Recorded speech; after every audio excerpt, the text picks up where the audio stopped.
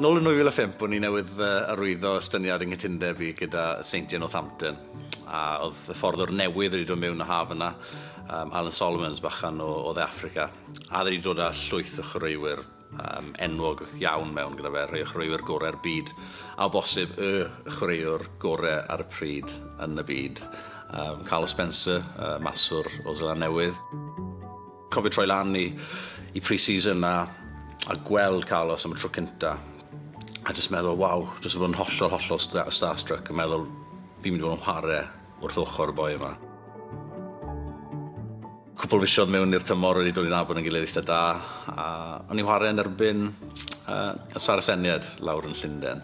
A fel o'n i'n neud, uh, yn teithio lawr y noson cyn y gêm ar y nos Wener, aros yn gwesti, a wedi cael yn swper ni, um, cael cyfarfod bach, wedi siarad am ti ar diwrnod canlynol, oedd e'n brif mynd i'r gwely.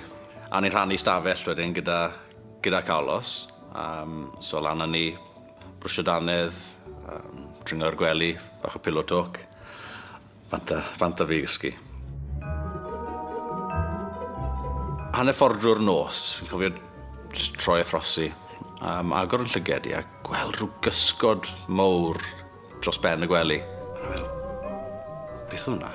O'n i'n meddwl fi'n breuddwydio, so cael llyged ag edrych eto. A dyna le roedd Carl Spencer yn sefyll yn hollol borcyn dros yng Ngwely. Wel, chi ddechmygu'r sioc. Just gwyddes i arna. Losi, Carlos, what are you doing? Be ti'n neud?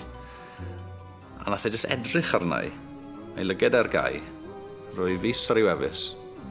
A gweud, shh. Rodders. Go back to sleep.